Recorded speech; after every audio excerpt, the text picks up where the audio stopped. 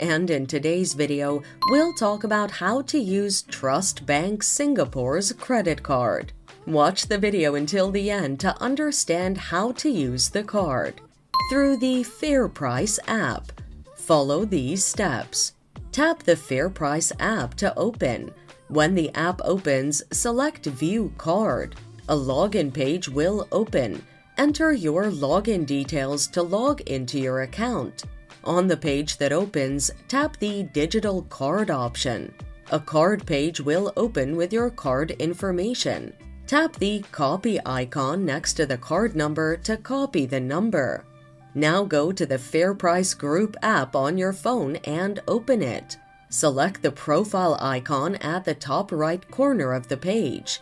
On the page that opens, select the Credit or Debit Card option. Choose a payment method.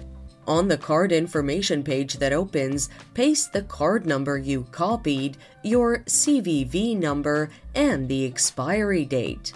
Set the Trust card as the default card by ticking the box below the expiry date. Press the Approve button to complete.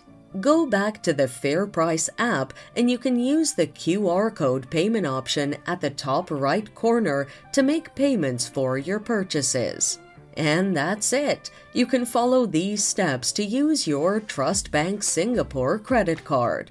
Thanks for watching. Till next time.